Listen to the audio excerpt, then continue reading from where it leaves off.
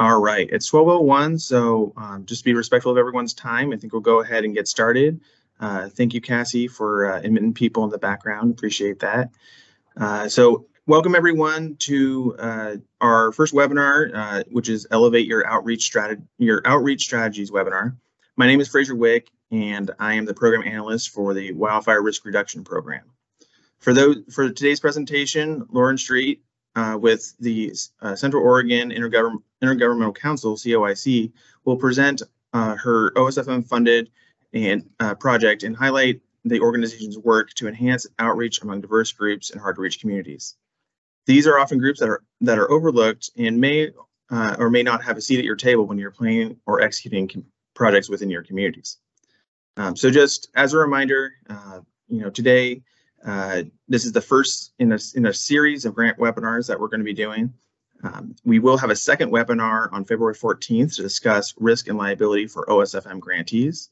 Um, all these webinars are really directed for grantees, but they're also great for anyone that has grants um, or receives funding uh, from other um, areas. Uh, it's always good information to, to hear. Um, so before I hand it off to Lauren, uh, I'd like to remind everyone to please mute, mute your microphones. Um, and then we will be monitoring, I'll be monitoring the chat and uh, I'll facilitate a Q&A session after Lauren's presentation. Um, if you have a question, feel free to pop it in the chat and we will get to it at the end. So without further ado, I will pass it off to Lauren. All right, thank you so much, Fraser, and thank you everybody for joining. I'm going to go ahead and share my screen over here.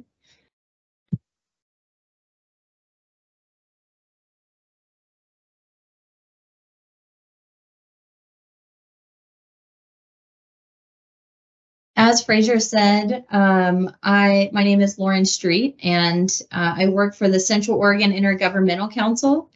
Um, Fraser, uh, can you see the slideshow all right? Yep. Okay, perfect. Um, yeah, I help to run and manage um, our OSFM funded project. It's the Central Oregon Wildfire Workforce Partnership. Um, and this uh, partnership spans across uh, two different organizations. So the organization that I work for, um, COIC, Central Oregon Intergovernmental Council, um, as well as the Heart of Oregon Corps. Uh, and both of these organizations um, have youth crews um, and young adult workforce programs um, that and those crews are the crews that we have working on, on our fuels reduction projects. Um, i uh, so our this program spans across the central oregon region. Um, and when we were first developing this program um, we looked at where the high wildfire risk was and we overlaid uh, the social vulnerability index map with those high risk WUI areas. And we came up with our seven uh, target areas uh, that we wanted to focus on. So our target areas are in La Pine, uh, Prineville, Juniper Canyon, Crooked River Ranch, uh, Madras, and most of Jefferson County, Camp Sherman, and Deschutes River Woods, um, just outside of Bend. Um, so those are the seven target areas, and that's kind of how we came up with the scope of where we would focus our work in. Um, we um, so this this allows us to work within these underserved communities um, that are based off of that social vulnerability index map. Um, this project that you see in the background of this picture here, that is um, up outside of Crooked River Ranch. Um, this was actually a project that we um, assist the Forest Service on. Um, and before we get too far uh, into the scope of what we do um, with this program, I would like to back up and talk a little bit um, about the program outside of the OSF, OSFM funding as well. Um, we started this program, the Central Oregon Wildfire Workforce Partnership, um, back in July of 2022. Um, and this program came into fruition through um, that partnership between Heart of Oregon Corps and COIC. Um, and it was originally funded through the Higher Education Coordinating Commission through their Oregon Conservation Corps funding. Um, that funding allowed us to get this program um, off the ground and running Um, and as this program has developed, we've added additional funding sources into that, and the OSFM funding is one of those additional funding sources. Um, and um, so this is one of our Heart of Oregon Corps um, fuels reduction crews. Um, the Heart of Oregon Corps, they have um, crews that work, and they're called the High Desert Conservation Corps. Um, this is a mix of positions. They've got crew leaders, they've got land stewardship trainers, um, and they've got youth that work on the crews that are between the age of 18 and 24. Um, they have numerous uh, crews that work on our fuels reduction projects, but these high desert conservation corps crews are the ones that work on um, primarily the fuels reduction projects. Um, and in addition to that, um, Heart of Oregon Corps also has a full-time fuels reduction crew that works on these fuels projects that we work on through the Central Oregon Wildfire Workforce Partnership um, exclusively. So they work 40 hours a week on fuels reduction projects um, across the region. And this crew is based out of Redmond. Um, so, like I said, this um, the original partnership was created in 2022, um, and it's been such a neat program to work with because as it was being developed, we wanted to address the you know overlying um, issue of fuels and overgrowth overgrown fuels in the region. Um, and we wanted to be able to utilize the youth crews that um, we have both in the Youth Compass program at COIC as well a part of Oregon.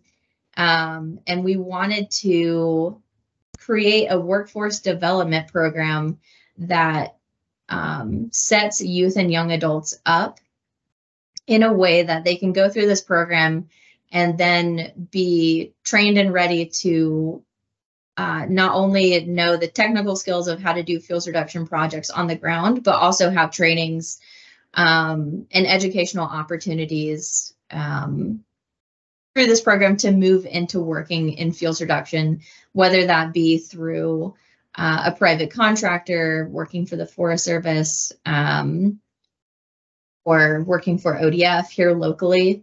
Um, we just we're seeing a gap and um, in it in employees that were looking to work in this field.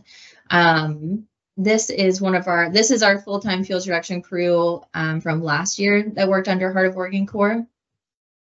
And here is a picture of one of the CYC crews.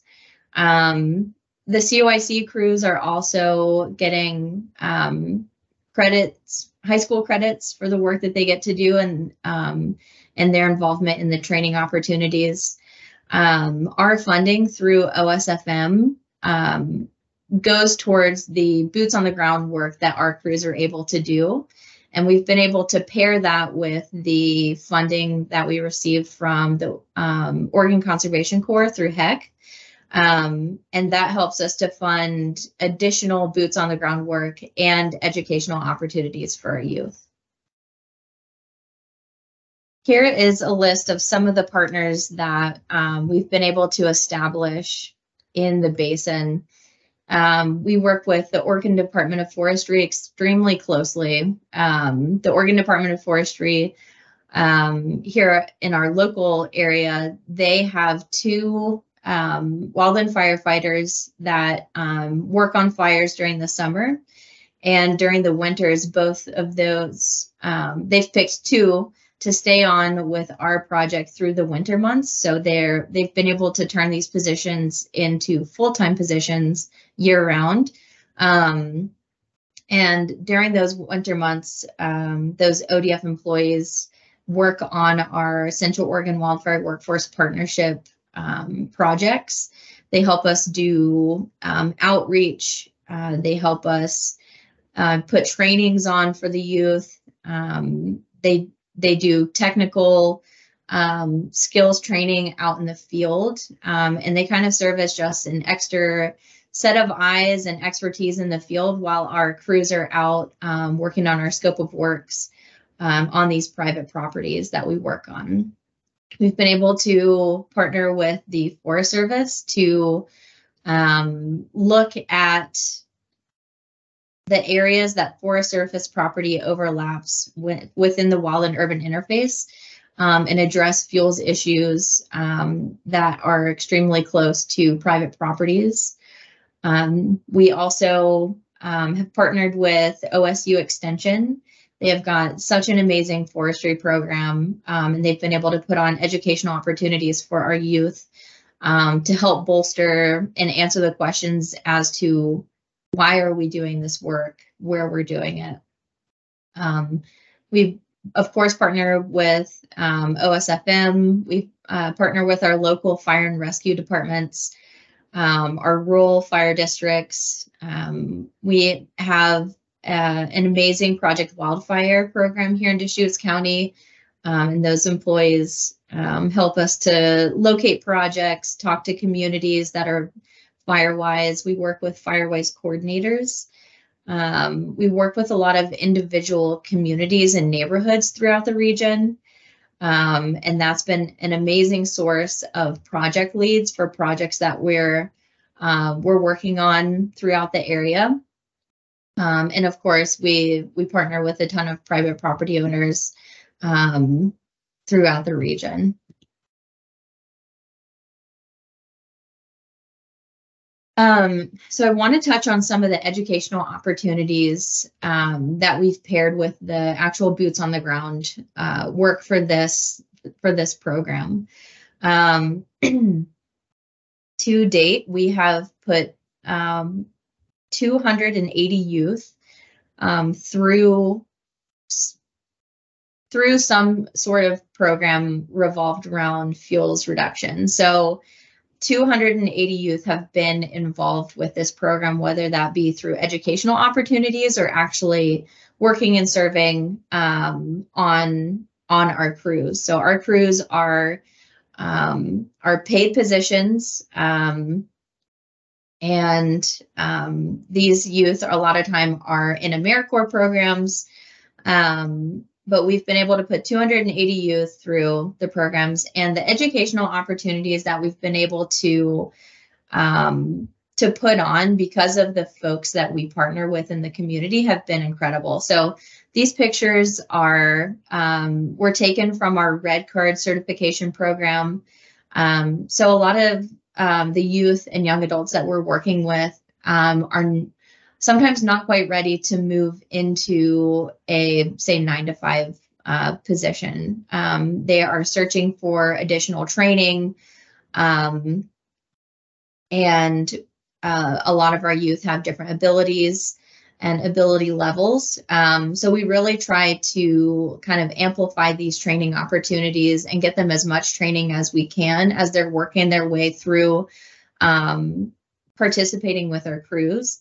Um, so this is an example of where we partnered with both the Oregon Department of Forestry as well as the Forest Service to put on a red card certification program.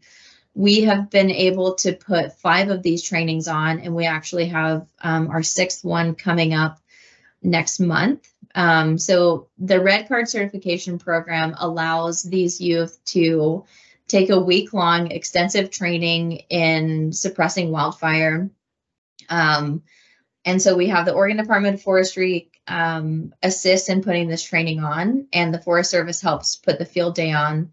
Um, this certification is nationally recognized. Um, it, covers everything from how to read weather, um, fire suppression, wildland urban interface areas. Um, and then they've got a field day that's on the back end of this training um, and that's what these pictures are examples of here, where they go through all the tools. Um, they actually dig fire line. Um, and this is just one of the many educational opportunities that we uh, like to put our youth through um, so that after they graduate from our uh, workforce program, they have a nationally recognized certification that they can move into the workforce with um, and continue to work in wildfire or fuels reduction um, which they would need that red card certification training for. This is um, just a really neat aerial image. Um, this is on the very last day of their red card training. Um, and we try to put 20 youth into the red card trainings each time. And as I said, we're working on our sixth one right now.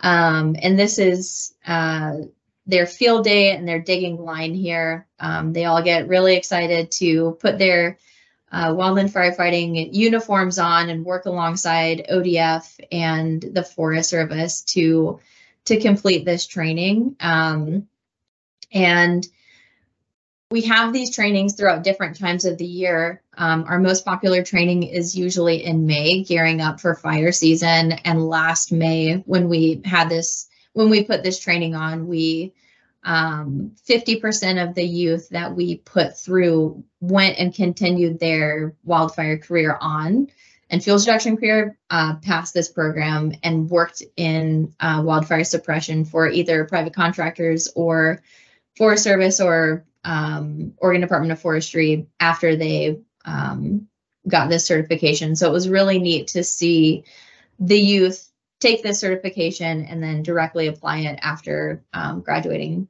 from our program. Um, this is a home ignition zone training that our fuels reduction crews go through, and um, we've been able to put several different iterations of this training on um, with the assistance of OSU Extension, uh, the Oregon State Fire Marshal's Office, and of course, our uh, local fire and rescue stations helped to put this on. Um, this really gives the youth that we're working with um, that that information of why we're doing the work that we're doing and why we're doing it in the areas that we're doing. Um, so we're working in high risk wildfire areas. Um, this it, it's really physically demanding work um, day in and day out. And so it's really important for us to kind of sit down and take a moment to to show the youth why it is so important that we're doing this work in the communities that we're doing it in.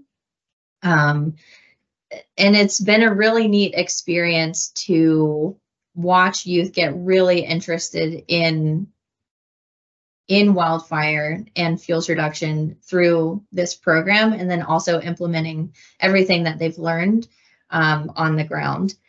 Um, and so to date, we have treated almost 500 acres. Um, and this is both with the Oregon State Fire Marshal funding and the funding that we received from um, the Oregon Conservation Corps. Um, and we've had 280 youth involved with this, and um, that has um, added up to be over 20,000 hours served in our communities doing fuels reduction work on the ground. Um, so this is a picture of one of the fuels reduction projects um, that COIC was working on. Um, and I wanted to take a moment and highlight um, our partnerships and how that has helped us create our scope of work that we use um, on different projects. Um, so we meet monthly as a like the Central Oregon Wildfire Workforce Partnership puts on a monthly meeting where we sit down with ODF, we sit down with Heart of Oregon Corps representatives, we sit down with the youth, youth workforce development folks at COIC, um, the Oregon State Fire Marshal, uh, local representatives here also attend this meeting and we go over our upcoming projects and we also go over the projects that we've recently completed. Um, and we look at each scope of work um, and the location that each of our projects are in and make sure that um, we're checking all the correct boxes. Is this in an underserved community? Is this an area that we want to be focusing these resources in? Um, we look at which uh, crews are best suited to do which projects. Um, we do projects um, that are less than an acre, and we do some projects that go all the way up uh, to 10 acres, depending on how many structures we're able to um, to kind of uh, protect and improve through these projects. So um, all of our different crews have different um, have different abilities or and are kind of suited better for different projects. But we take a look at all of that in our monthly meetings.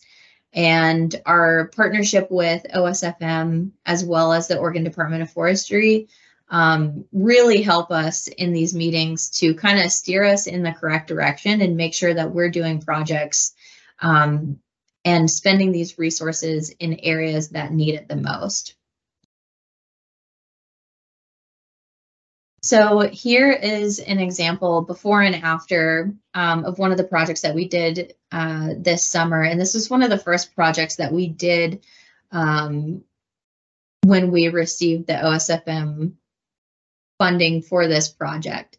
Um, again, the, the OSFM portion of this funding um, solely funds the actual boots on the ground work that these crews are doing. So a lot of times we are working in and around structures like this, and we've got a scope of work document that we've created with um, with the help of um, OSFM and the Oregon Department of Forestry um, here in Central Oregon. And we have combined um, Firewise practices. We've com combined the NFPA um, recommended practices and also taken a look at some of the um, state rules and regulations around what they would recommend for fuels. And we've come up with a scope of work document that we take um, out individually to each property owner and we do field assessments on on each property. And I would say that that is where we partner the strongest with our local um, fire districts as well. Um, those folks are they are out on the ground every day doing assessments of properties.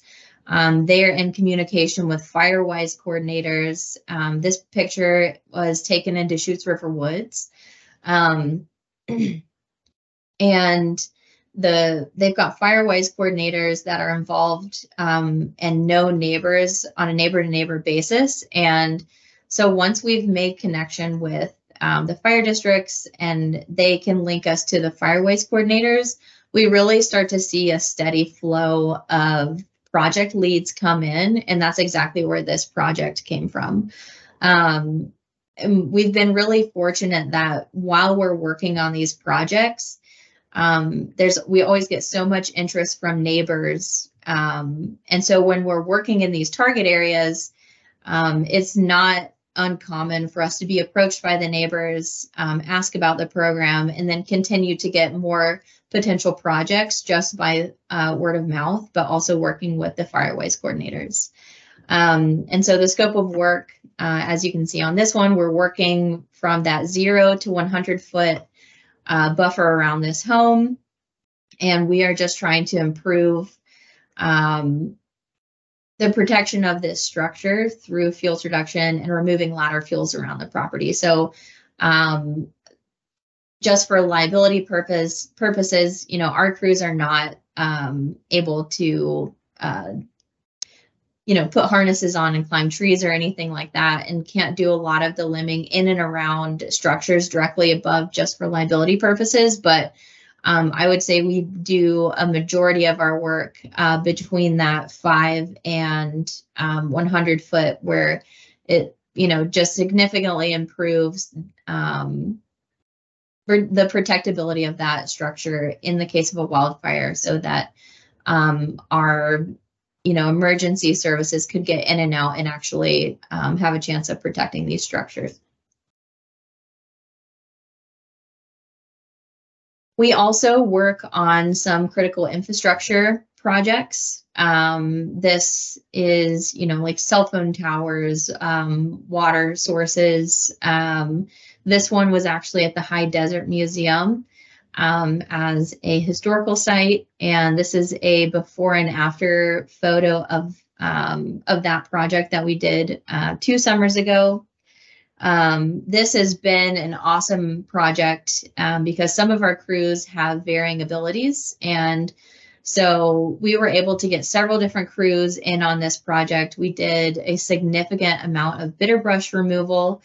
Um, and through this partnership with the, the High Desert Museum, we've been able to get almost all of our crews onto this project. Um, and they've all worked on different pieces. So um, we have crews that focus on that zero to five um, foot um, area around a structure, um, removing brush, uh, removing pine needles. You know, they would clear the gutters off and then we would move all of that material in and away and off site. Um, and then we had other crews in come in and do seedling removal, bitter brush removal, um, thinning trees out. Um, and these kind of projects have been really neat as well because we produce a lot of material um, and we do have a chipper and a chip truck that we are able to chip all the material and then move that off site. Um, but for the larger wood, we've been able to uh, donate a lot of that wood and also turn it into something that's usable for the community. Um, and we've seen a lot of the wood from these projects go uh, back into the community um, to be utilized during winter months. So that has been really neat to see.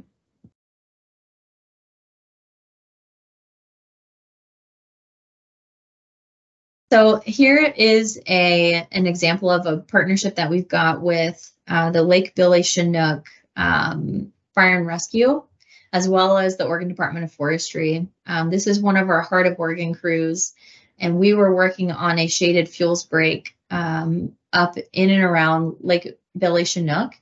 Um, and so this shaded fuel break was um, continuing on from a project that the Fire and Rescue Department had been working on um, for quite a while up here. And this um, this area experiences um, extreme wildfire risk. Um, and so this was a neat opportunity. We were able to um, send our crew up here, and they were able to have an overnight camping trip and they were able to stay in the bunkhouse at Lake Billy Chinook. And they were able to go through here, limb trees up, remove um, all the bitter brush out from underneath the trees, and continue that shaded fuels break on.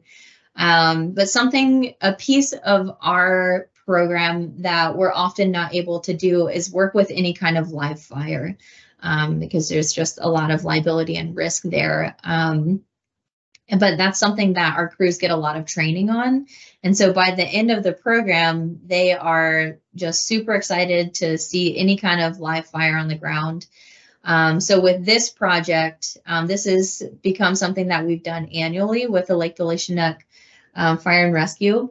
Is we'll go up there and stay. We'll complete a section of the shaded fuel break, and then in partnership with ODF and um, their volunteer firefighters, we are able to make all the all the piles, uh, the burn piles, and we do this in um, February when we're good to go ahead and light the piles on fire, and ODF will come in behind us and and light those piles on fire, and it's been awesome to see the youth get so excited to um, watch a project come full circle, see the live fire on the ground, and kind of implement some of the trainings that they that they've been able to experience.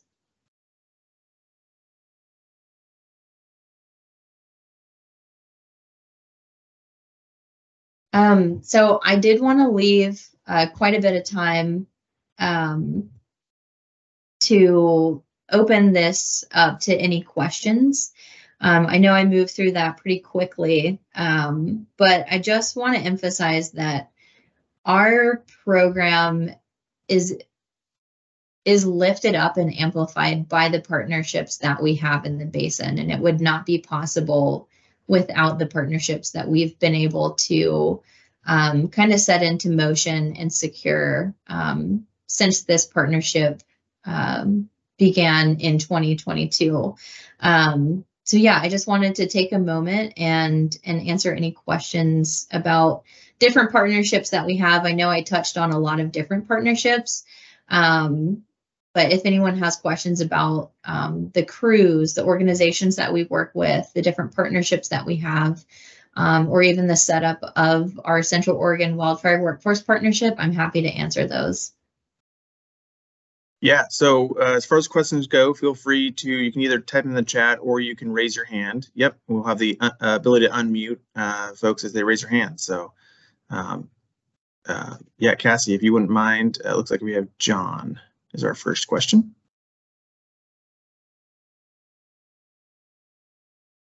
John, go ahead whenever you're ready. Your mic should be enabled.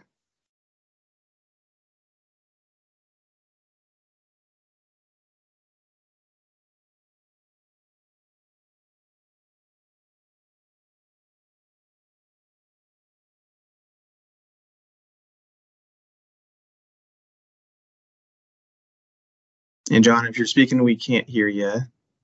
Um, you should be able to hit the uh, unmute button up there on the right upper corner.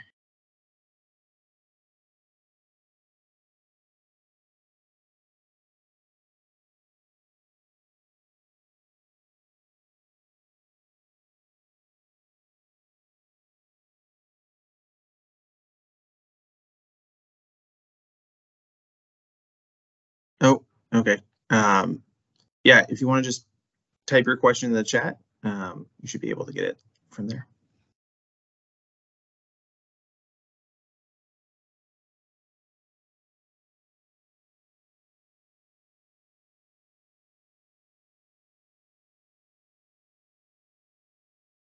Lauren, while he's typing his question in, um, I guess I'll start with the question. Uh, what type of outreach do you do to, um, uh, or if any, to maybe local school districts or local uh, youth around the area, um, or does it all go through um, other other organizations?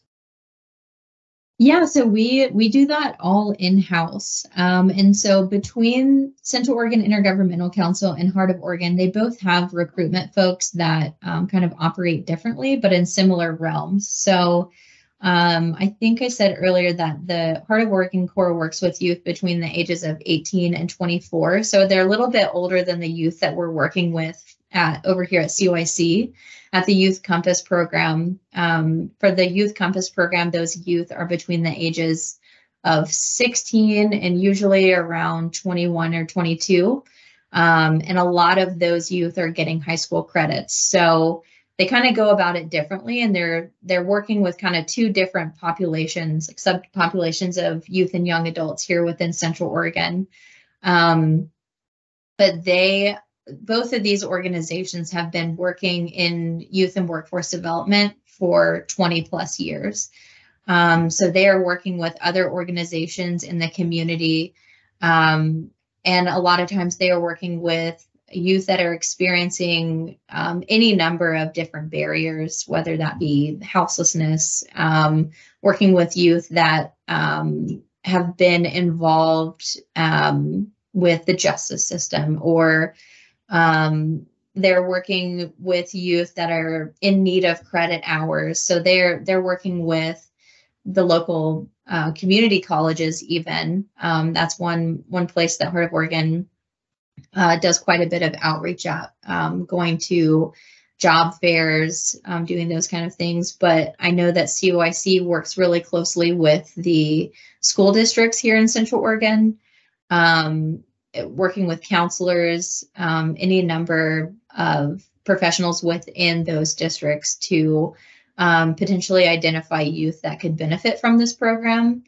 Um, COIC also runs a um, kind of like an alternative education program, and a lot of times youth transfer for between that program and working on our crews. Um, Heart of Oregon Corps, I know, opens their applications up for crew members through AmeriCorps programs as well. And so they get a lot of interest in their programs for folks that um, want to move to Central Oregon and work on conservation projects. Um, so a lot of their crews um, outside of that full-time fuels reduction crew, um, they work on all sorts of different conservation projects. So they're kind of working on our fuels reduction projects here and there, and also working with projects with the Forest Service, building like beaver dam analogs, working on fencing projects. And so those would be the High Desert Conservation Corps um, project positions. And so we see youth come from um, here locally within Central Oregon, but also from all over the country to move and work um, kind of in the field of conservation. So um, yeah, we see youth come from all over the place for for Heart of Oregon's program. That's great. Sounds like uh, the the wildfire risks here are being uh, shared nationally then through your program too. So, um, thank you. Uh, looks like uh, the question, first question we have here is, uh, what skills uh, are you able to train youth? they saw the chainsaw pictures in there. Oh yeah, um, great question. we we try to put on all sorts of training opportunities and i do um, want to emphasize again that the OSFM funding that we're using goes towards boot, boots on the ground, actual fuel reduction in underserved communities and on those private properties. Um, but we've been able to marry that really nicely with the funding that we got from the Oregon Conservation Corps, which helps us to kind of bolster and implement those educational opportunities. Um, so as far as technical skills go, we do an S212 chainsaw certification training. We've partnered with the um, Forest Service as well as Department of Forestry to put those trainings on. Um, and so that is also a nationally recognized certification. So when they move on from our program, they've got that wildland chainsaw certification that they can take with them. Um, and then also having the Oregon Department of Forestry, um, two staff members that work with our crews for six months out of the year. They're they're on the ground um, implementing those projects and are able to be kind of training during those fuel reduction projects. So we do site assessments. We show the youth how to look at and identify trees. You know, what are we looking at here? How high do we need to limb this tree up? What's going to make this property safer? Um, and and um, internal staff within COIC, so myself or um, folks from Heart of Oregon, um, have been trained through NFPA trainings to do those site assessments, and we try to pass that knowledge on um, to youth and also um, passing that on through the home ignition zone trainings that we put on. Um, and then the Oregon Department of Forestry uh, works a lot with our youth in the field to um, show them how to, you know, run the chainsaws, do those different technical skills um, with hand tools as well. Um, and they do that day in and day out on on the different fuels reduction projects that we're doing. And then um, I can't remember all the different um, sub certifications and trainings that they individually take through our red card certification training program, but it's like L180, L190, um, everything that goes into the getting that um, wildfire certification um, that they would need to then fight wildfire. They're all getting those. And that's also been an opportunity um, for that red card training, we open that up to all youth um, within Central Oregon. So we we don't limit that training to only youth that are already in our program. Um, we actually open up an application process, and any youth between the ages of 18 and 26 in Central Oregon that's interested in that training opportunity, um, we make them a temporary employee for the that six day training and pay them to get their red card certification program. So we've worked with organizations um, that are working with youth um, um, that have been involved um, in um, like live in um,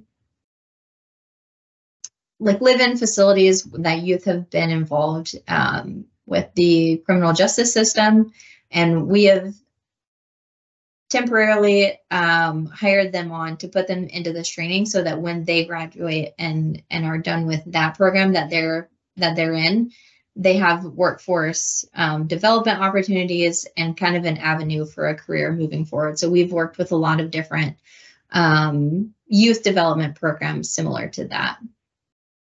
That's great. Um, one question, somebody just would like you to bring up the partner slide again um, when you have a minute. Um,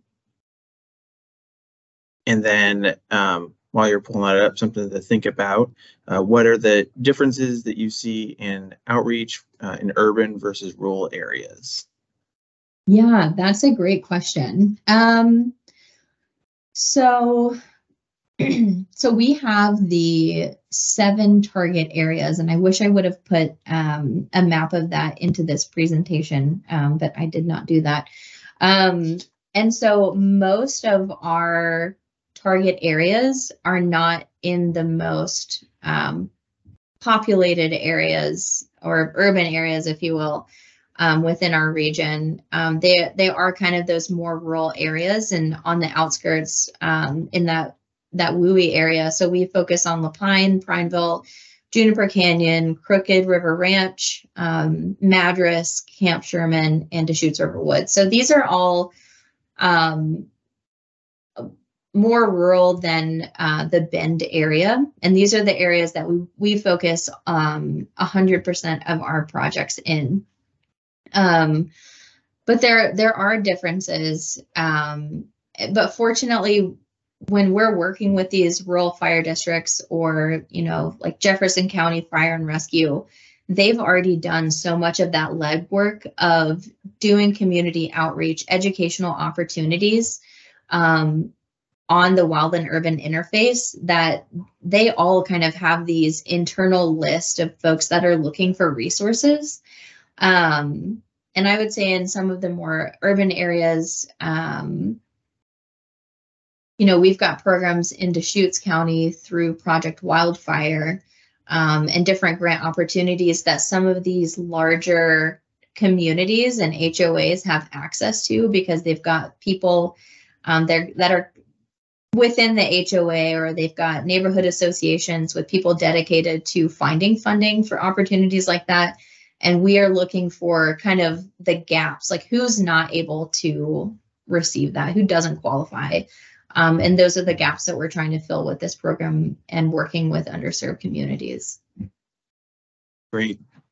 Um, one of the questions, and you, you kind of answered this already, but I think the second part we could go on is uh, the um, what is is there an outlet for is this an is the program an outlet for troubled youth or anyone interested? And it sounds like anyone any youth between those age brackets can sign up.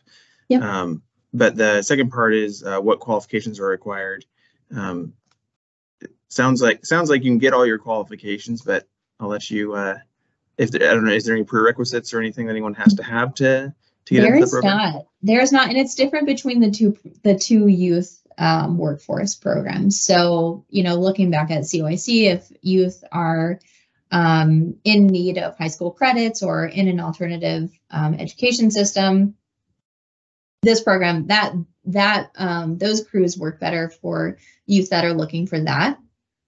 Um, and then the youth that work on the Heart of Oregon Corps crews, um, there aren't necessarily like workforce prerequisites or credentials that you would need to work on these crews, um, especially the entry level positions. Um, and they've got different crews um, that, um, like I was saying before, have different abilities. So we we also have crews that are part of a program called um, Go Lead and Camp Lead. And so this is focusing in on youth with different abilities, um, whether that be learning abilities, um, physical abilities.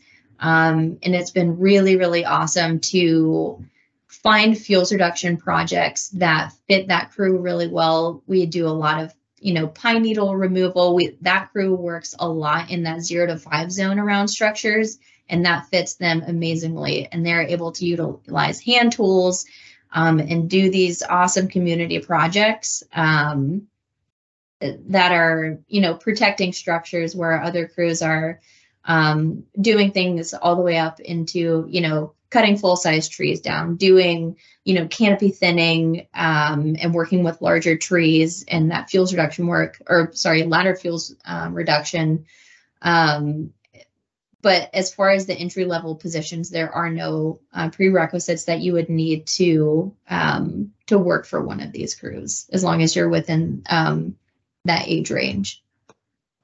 Because the whole the you know the whole purpose of this is to provide paid positions to youth that uh, might otherwise come across challenges working in this field. So this is a very entry level. We want to provide as much training and, as possible to to get these youth ready to to move into like a full time position career. Yeah, skills training. So Yeah. that's great. Um, next question I have here, kind of a two-part question, but do you have any advice on how to sustain those partnerships that are uh, that you're not directly funding, and uh, how do you get people to cooperate and, and show up to the table without directly funding partners? Um, yeah. So what we have found is, and I just want to preface this, I feel extremely fortunate to work with the partners that we're able to work with here in Central Oregon. There are already so many people working on fuels related um, topics, whether it be educational opportunities, actual boots on the ground, fuels reduction work, um, or being resources for people here in Central Oregon.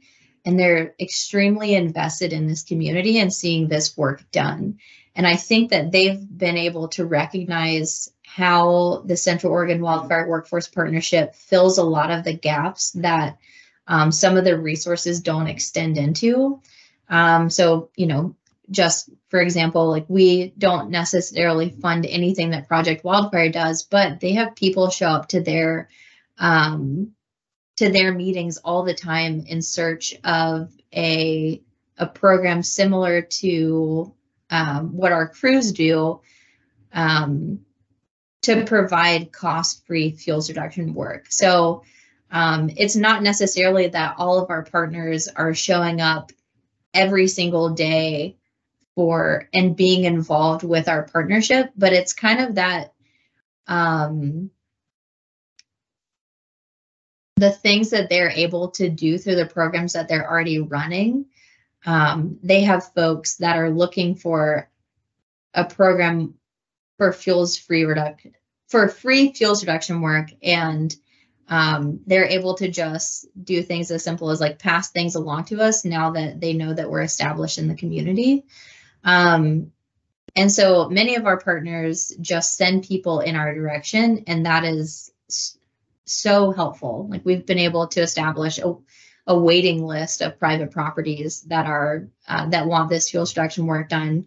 Um, but then other partners, such as the Oregon Department of Forestry, um, this has been such a mutually beneficial program because they're able to keep two of their wildland firefighters um, on throughout the winter, which creates, you know, um, staff retention. Um, their staff is getting training and working with uh, private landowners, working with these crews um, building partnerships, working within grant management. Um, so their exposure to some of the stuff that we do, um, as well as all the things that they um, provide us with, both through trainings and in the field um, work, it's extremely mutually beneficial. Um, and so I would say it's different for each partner. but I think that the one of the main things is that there are already so many people working within fuels reduction in the community and they're very invested and they see where our program fills the gaps that um, weren't previously being filled by um, by resources that were already here. Awesome. Um, the next question I have is what uh, what do you do with the chipper chips? And uh, are there any potential fuels that should not be used for ground cover? Are there any, what was the last part? Um, are there any potential fuel sources that should not be used for ground cover? Yeah, so we have um, uh, two chippers and a chip truck, and we're in the process of um, hopefully purchasing another chip truck.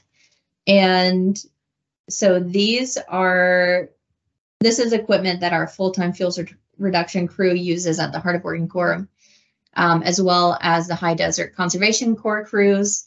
And um, it's different for for each property. So because we're running a, vol- a completely voluntary program, we're really working on that scope of work with each individual property owner. So some of the property owners um, have you know years of experience um, doing burn piles on their their property. So some of the properties that we do fuels reduction on, um, we're actually building small burn piles for the owner to then come through and get rid of that material themselves. Some of our other projects, um, the owners would like to see the material completely removed from the property, and that's where we will bring that chipper chip truck in. It makes it a lot easier for us to transport the material, and a lot more material can be removed from the property quicker. Um, and we use an app um, we've got an account with uh, Chip Drop. And what we see here in Central Oregon is there are a ton of folks that own horses um, and kind of equestrian farms that utilize that that chip. And so when we log on to our chip drop accounts, um, there are folks um, looking for chip to be donated. And we've been able, we've been really, really fortunate. And we've been able to find and donate chip on every single project that we've worked on. Um, we hardly ever have to take uh, material to transfer stations. So um, whether you know we're donating firewood or um, you know the smaller material we take to folks that have horses most of the time, and they utilize that in the horse barns. Sounds sounds like one of those unique uh, resources out there that once you're in the once you're doing this work, you kind of find those net those neural connections. Uh, that's that's a great resource. Um, do you know if that is a statewide? I think it is. Or is it local? Okay. I think it is statewide, and it you know was created by arborists because I think they often run into the the same issue as once you've finished with a project and you've got you know a ton of of chip, where to take that. Um, if you don't necessarily, if you're not close to a transfer station, that can be a big limiting factor in how quickly you can get a, a project complete. And so I do think that chip drop is statewide and you can just Google um, chip drop and you can register. It's a free account. Um, and it gives you contact information. And I've been able to just call folks, tell them about the program and and find chip drop locations like day of, which has been really, really really nice. Great. I've only got uh, two more questions here. Um, uh, first one is, are you using OSFM survey 123 results to target properties? Um, how does that integrate with your programs, if at all? We um, we have not utilized that yet. Um, we've mostly been working off of the uh, maps that we had originally created, which over overlaid that social vulnerability index map with the uh, wildfire risk map, and that's what we submitted with our application, um, and that's what we've been using um, on our projects. And then we've also worked with the Oregon Department of Forestry to um, work with their um, office staff to help us create GIS maps to keep track uh, for reporting purposes of where all of our projects are are going on at. Um, and then for our in-field use, we use onX uh, to keep track of property lines and things like that. Uh, last question. Uh, what a great program uh, to help youth that didn't have direction in life and now have a skill or trade, and more importantly, a purpose to, to be a contributing member of society. Do you share their success stories in addition to the great work you've showed us in today's slides? We do, yeah. Um, so in the last legislative session, we focused really hard on um, not only the success stories of the community members and the private property owners that we work with, um, but also the youth stories. Um, both have been really, really incredible to work with. And I personally feel um, and insanely lucky to work with a program like this that we get to um, help youth that are experiencing whatever barrier they may be experiencing to um, finding a career, but to watch them get excited about this work and really go through these trainings and get a, a full grasp on hey, this is a really cool career opportunity. There are jobs available in this. And there's even a shortage of workers going into this field. And it, I have a good opportunity at finding a career in this.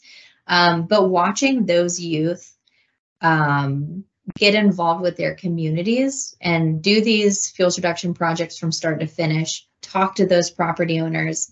I mean, the, the property owners spoil the crew members to death. I'll go out on projects and the property owners will bring out cookies at 10 o'clock in the morning and have our you know our youth are just you know eating cookies and doing these fuels reduction projects and watching them interact with these private property owners and see the difference that they're making in the community um, that's not that's not something that you can learn in a classroom setting. And it's really when you see those kind of situations unfold um, and watch the youth have that pride and pride for their community and the work that they are contributing to has been really incredible and the the stories of also the private property owners that we work with um, are experiencing whatever hardship it may be. Um, but being and working in underserved communities um, has been extremely special for, I know, everyone that's involved with this program and also the youth that are able to experience what their work is doing for people on the ground. Yeah, that's great. I um, thank you so much for sharing with us. Uh, I really appreciate it. Um, our, on behalf of our office, we really thank you for the work you guys are doing. It sounds like it's a huge benefit for uh, the community and folks there in Central Oregon. So um, I think that's all we have for questions. Um, thanks again. Uh, really appreciate your work, and I'll, I'll yield the rest of that time back to everyone else today. All right. Thank you so much for having me on. Yeah. Thanks.